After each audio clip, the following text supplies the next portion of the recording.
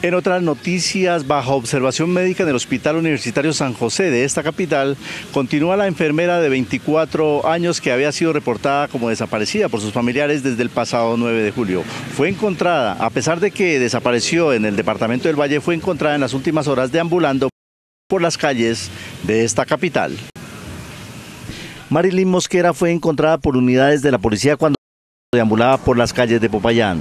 Su padre relata cómo fue el encuentro con ella. Ella pues me reconoció, me, decía papá, papá. Entonces yo le pregunté, mi hija, ¿a dónde estuvo? ¿Qué le pasó? Y ella me, lo único que me contestó era que habían dado con mucha gente y la habían abandonado. No están los cinco sentidos. Asegura que tras la desaparición de su hija fueron nueve días de angustia para él, su familia y sus amigos. Mucho, mucho. Yo ya volví, fue como volver a nacer porque pues un golpe de eso no lo deseo a nadie, eso es muy duro, duro.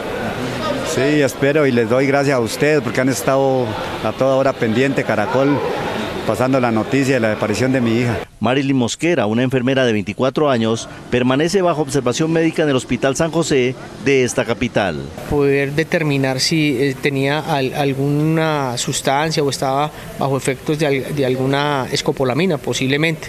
Lo que sí es claro es que esta señora aparece, afortunadamente ya está fuera de peligro.